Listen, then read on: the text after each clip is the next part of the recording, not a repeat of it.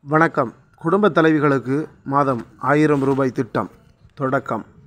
வெளியானது புதிய தகவல்.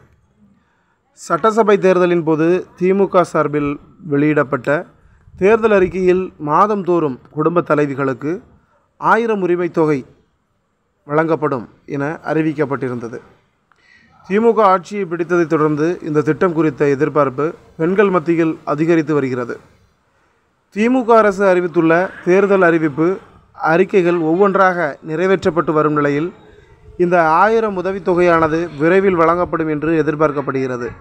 இந்த நிலையில் அந்தியோதயா அன்ன யோஜனா முன்னுரிமை ஆகிய ரேஷன் கார்டுகளில் குடும்பத் தலைவராக இருந்தால் பெண்களை குடும்ப தலைவியாக மாற்ற ரேஷன் அட்டைதாரர்களுக்கு ரேஷன் கடை விற்பனையாளர்களுக்கும் வட்டவளங்கள் துறை உத்தரவிட்டுள்ளது.